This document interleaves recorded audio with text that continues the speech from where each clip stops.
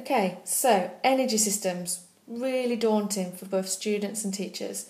So I'm just going to introduce my bottle top resource. Really simple resource, can be done with cones, can be done with the students themselves.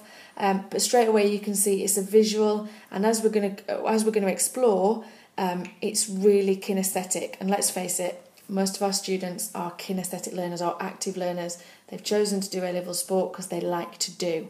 So let me share with you, or let me show you how this would work.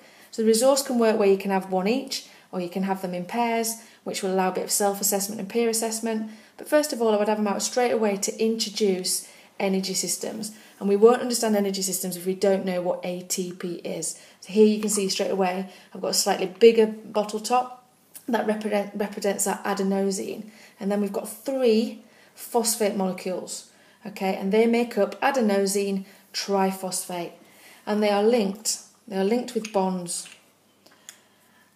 And you can see how straws quite easily allow this to happen to show how they're linked in that way. Skipping ropes are useful, relay buttons if you're doing it um, with your students.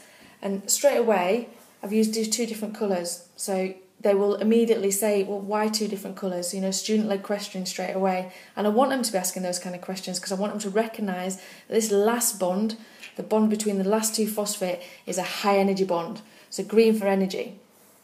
And what I would say to them is, through an enzyme called ATPase, so when we need that energy, that bond will break, okay, leaving that phosphate not attached anymore, and we get a high amount of explosive or immediate energy, okay, because this has been stored inside our muscles and our sarcoplasm. Um, and this will then leave us with adenosine, and they're already starting to, to mumble this amongst themselves because we've now only got two phosphates. So we've got adenosine diphosphate. And you start to then be able to say to them, well, what kind of activity would this be useful for? You know, it's three seconds, so it's quite limited. Right, but once they've got an understanding of this, you can start to, to unravel why we need energy systems. Because what we need to do is we need a system in place that will allow this P to come back so we, we keep getting this energy from it from our stored ATP. So we can then straight away use the bottle tops again for energy system one. All right, we've got our creatine and our phosphate, phosphocreatine. Okay, or in this instance, oh, or PCr, sorry, in this instance, I'm showing that it's a creatine molecule. All right, and that's attached again to a phosphate molecule. All right, we've used green again. Well, so is that high energy bond as well? Of course it is because it's green. All right, I want them to understand that it's a very similar process in that when this breaks, we're also going to get energy. Notice I've not mentioned oxygen yet. So this is an anaerobic energy system. It's not using oxygen. The bond will break, these two will split, and that's through an enzyme called creatine kinase. And what will happen is again you'll get some immediate energy. The energy this time is also explosive, but only up to 10 seconds. So most students at that point start to think 100 meter sprint, which is a really good example of using this energy system predominantly. But that energy is also not only giving us energy for the activity, what it will allow, and hence why my students have already done a different colour code, is what will happen is the energy from that will allow it to resynthesize, right? It will resynthesize one ATP.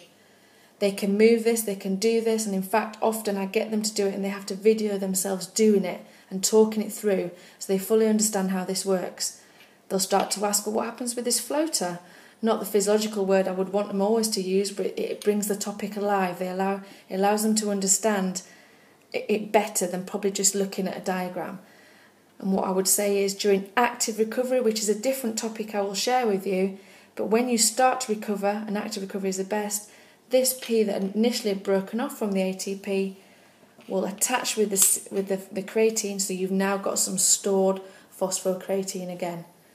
Um, but and, and that can happen quickly, it can happen within four minutes, but you need that active recovery. Um, and that's our energy system one. Great kinesthetic resource.